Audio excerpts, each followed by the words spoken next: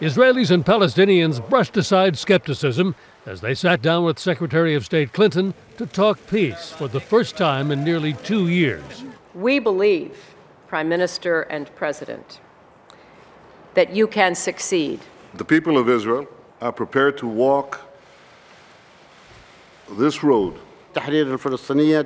the PLO participates in these negotiations with good intentions. The two leaders spent an hour and a half face to face and alone and agreed to begin meeting every two weeks. But beneath the tantalizing hint of progress is the reality.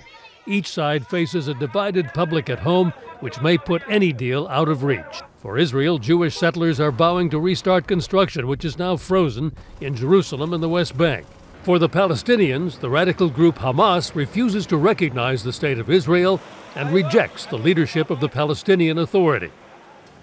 U.S. officials say the two leaders have committed to a very ambitious goal the outline of a peace agreement within one year. Erica? Well, thanks.